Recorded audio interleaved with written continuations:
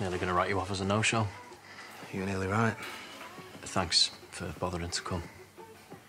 Is this going to take long? Because there's other stuff I'd rather be doing, like the VAT forms at the yard. Oh, can we at least sit down? It's not going to make any difference. Fine. We'll do this here.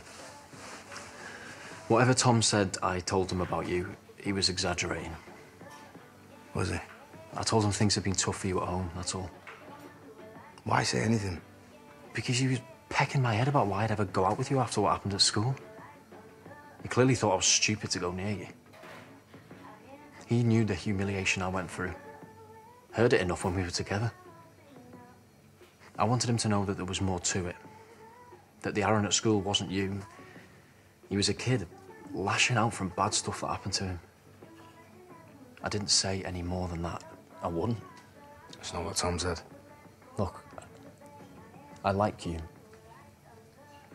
Quite a lot, in fact. I felt like we had something. Which is why it's best that we find this out now.